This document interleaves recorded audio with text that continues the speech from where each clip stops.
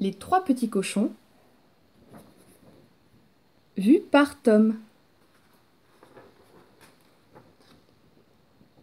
Et si les trois petits cochons étaient des chevaliers? Il était une fois trois petits cochons qui s'ennuyaient à la ferme. Ils voulaient avoir leur maison à eux, mais chacun voulait la construire à son idée. Moi, je la voudrais comme ci. Moi, je la voudrais comme ça. Et moi, comme ci et comme ça. Ils n'arrivaient pas à se mettre d'accord. Eh bien, dit le plus jeune, partons chacun de notre côté. Nous verrons qui de nous trois fera la plus jolie maison. C'est une bonne idée, dirent les deux autres. Et ils s'en allèrent chacun de leur côté. Le premier petit cochon rencontra un homme qui portait une botte de paille. Voulez-vous me vendre votre paille demanda le petit cochon. Je veux bien, dit l'homme. Le petit cochon acheta la paille et se mit au travail. Il fit une petite maison, tout en paille. Les murs étaient en paille, le toit était en paille, la porte et la fenêtre étaient en paille. Le petit cochon, bien au chaud dans sa maison de paille, était très content. Il pensait que dans tout le pays, il n'y avait pas de maison plus jolie que la sienne. Le deuxième petit cochon rencontra une femme qui portait un fagot d'épines. Voulez-vous me vendre vos épines demanda le petit cochon. Je veux bien, dit la femme. Le petit cochon acheta les épines et se mit au travail. Il fit une petite maison tout en épines. Les murs étaient en épines, le toit était en épines, la porte et la fenêtre étaient en épines. Le petit cochon bien à l'abri dans sa maison d'épines était très content. Il pensait que le loup ne pourrait jamais toucher à sa maison. Le troisième petit cochon rencontra un homme qui menait un âne chargé de briques. Voulez-vous me vendre vos briques? demanda le petit cochon. Je veux bien, dit l'homme. Le petit cochon acheta les briques et il se mit à construire sa maison. Il fit les murs en briques, le toit en briques, la fenêtre en briques, la porte en bois.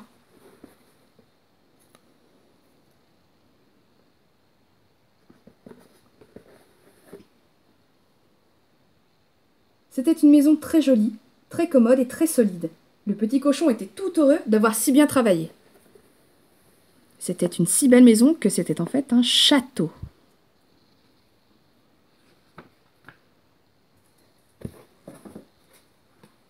Quelques jours plus tard, le loup va frapper à la porte de la maison de paille.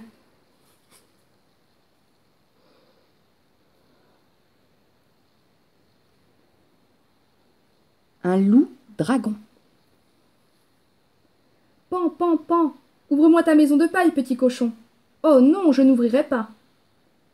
Alors je taperai du pied, je soufflerai, je cognerai, ta maison tombera par terre et je te mangerai. Tape si tu veux, souffle si tu veux, cogne si tu veux, je n'ouvrirai pas.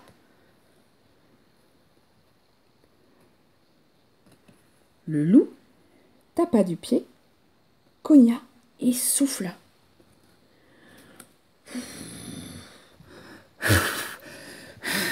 Et la maison tomba par terre. Mais le petit cochon se sauva.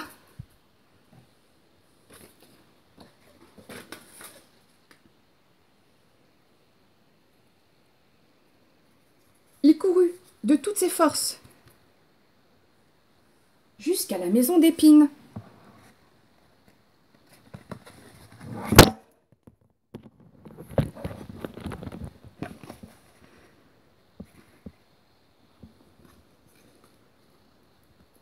Son frère l'avait vu venir.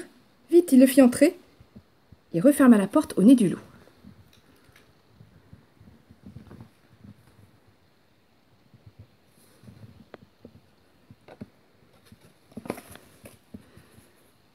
Pan, pan, fit le loup.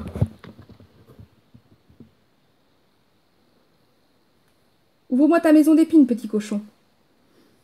Oh non, je n'ouvrirai pas. Alors je taperai du pied, je soufflerai, je cognerai. Ta maison tombera par terre, et je vous mangerai tous les deux. Tape si tu veux, souffle si tu veux, cogne si tu veux, je n'ouvrirai pas. Le loup tapa du pied. Il souffla, il cogna, et la maison d'épines tomba par terre.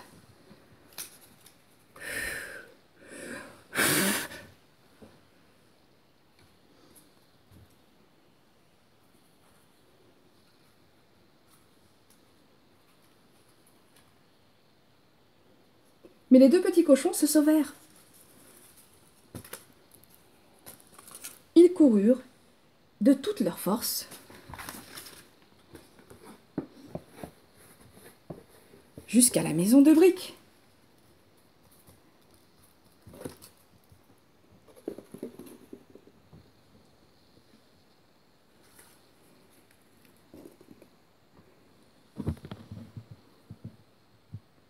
Leur frère les avait vus venir. Vite, il les fit entrer, referma la porte et cric-crac donna deux tours de clé. Il était temps, le loup arrivait. Pan, pan, pan, fit-il. Ouvre-moi ta maison de briques, petit cochon. Oh non, je n'ouvrirai pas. Alors je taperai du pied, je soufflerai, je cognerai. Ta maison tombera par terre et je vous mangerai tous les trois. Tape si tu veux, souffle si tu veux, cogne si tu veux, je n'ouvrirai pas. Le loup tapa du pied. Il souffla, il cogna. La maison de briques était solide et le petit cochon riait derrière la fenêtre. Ah, c'est comme ça, dit le loup. Eh bien, je vais monter sur le toit. Je passerai par la cheminée et je vous mangerai tous les trois. Oh, je n'y arrive pas.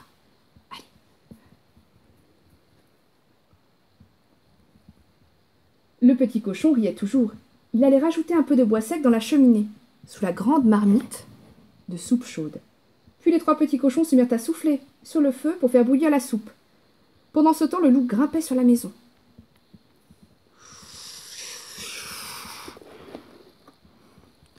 On l'entendit marcher sur le toit. Enfin, sa queue apparut dans la cheminée au-dessus de la marmite. Alors le troisième petit cochon enleva le couvercle de la marmite, puis il attrapa la queue du loup. Faites comme moi, cria-t-il à ses frères. Faites comme moi. Une, deux, trois. Tirez Les trois petits cochons tirèrent ensemble et plouf Voilà le loup dans la marmite. Cuit, bouilli, fini le loup. Les trois petits cochons ne voulurent plus se quitter. Ils vécurent tous les trois dans la maison de briques, et s'ils ne sont pas morts, ils y sont encore.